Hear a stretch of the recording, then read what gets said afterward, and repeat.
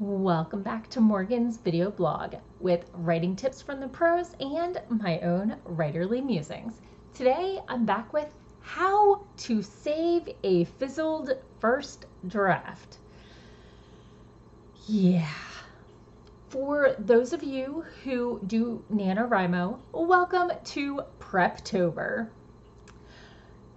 Let's do here's your skippable backstory for those of you who are unfamiliar with NaNoWriMo. NaNoWriMo stands for National Novel Writing Month and is a community pledge to write 50,000 words or 200 ish pages during the 30 days of November, or approximately 1,667 words per day. You win bragging rights and some discounted writing software. While not a full manuscript, it's a great way to practice the persistence that novel writing requires and see if you have what it takes. I have quote unquote won NaNoWriMo several times and I have the rough drafts to prove it. Now, to actually edit more of them, well, that's a different post. Last year, I quote unquote won NaNoWriMo, but my story veered off course. I tried to push through to an ending, but by the end of March, it was so far from where I wanted it to be. I knew I was fighting a losing battle. Now, not all stories that go off track are wrong. Sometimes the story takes the lead and brings you better things than you ever expected.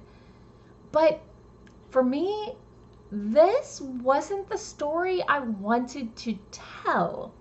So I set it aside, polished some rough drafted short stories, beta read for a couple friends, and read a lot of books, mostly romances. I gave my story breathing room to percolate in my head and waited until now to pull this technique out of my toolbox. So my method to save my fizzled first draft, what you're actually here for, write your query letter. I know, trust me, I know if you're like me, your manuscript is a hot mess and there is no way you'd be sending this thing to your mother, much less a professional agent. We can skip the salutation, the book stats, and the bio all you need is the story part of the query. You know, the part where you describe who the character is, what the main character wants, and what stands in their way. You know, the stakes in under 250 words. Whether you are a planner, a pantser of a discovery writer, just writing by the seat of your pants, or somewhere in between, a planter like yours truly, this method can help you find the focus of your story. Sometimes themes emerge, sometimes plot holes.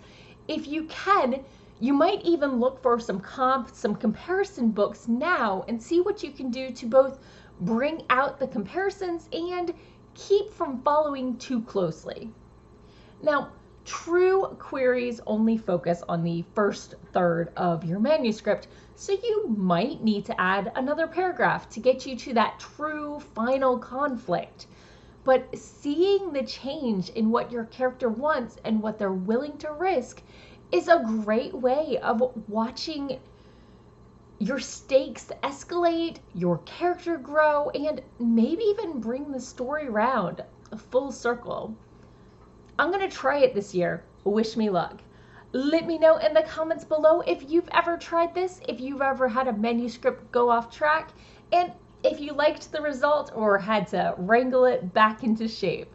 Thanks again for watching. Happy NaNoWriMo and happy Preptober for all of you participating. Bye-bye.